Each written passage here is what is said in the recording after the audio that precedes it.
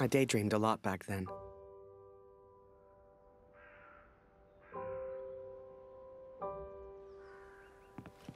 If I could finish that balloon, I thought, maybe somehow I could escape.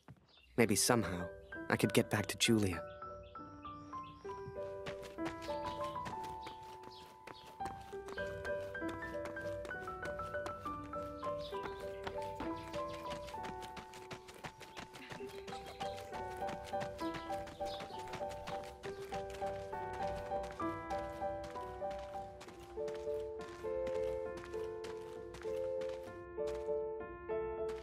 As the months went by, Katrine kept me updated about Kurt.